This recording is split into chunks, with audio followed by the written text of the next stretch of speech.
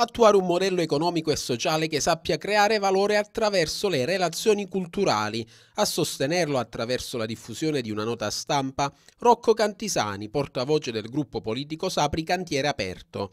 Il movimento è stato apparentato nella passata tornata elettorale alla lista Insieme per Sapri sconfitta da Sapri Democratica guidata dall'attuale sindaco Giuseppe Del Medico. Il comunicato del sodalizio giunge all'indomani dell'insediamento del nuovo consiglio comunale e Cantisani si rivolge ai nuovi amministratori, in particolare a Giulio Cammarosano, assessore alle politiche di sviluppo e del lavoro per il comune di Sapri. L'aspetto che mi preme sottolineare e in qualche modo, scrive Cantisani nella sua nota, sollecitare ai fini di una utile discussione la scelta di un modello di sviluppo sostenibile. La strutturazione, ha aggiunto il portavoce del gruppo, non potrà e non dovrà essere sottratta ad una profonda analisi che coinvolga però più attori. Sarebbe miope ancorché deleterio, sostengono da Sapri Cantiere Aperto, pensare di fronteggiare la crisi socio-economica che viviamo nella nostra comunità con le stesse ricette che hanno portato in passato il paziente sull'orlo del baratro. Pertanto l'imperativo è cambiare, sostengono Cantisani e quelli del gruppo.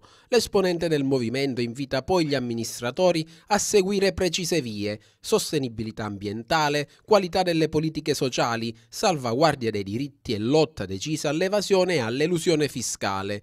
Dunque per Cantisani e i suoi operare attraverso la cultura per generare sviluppo.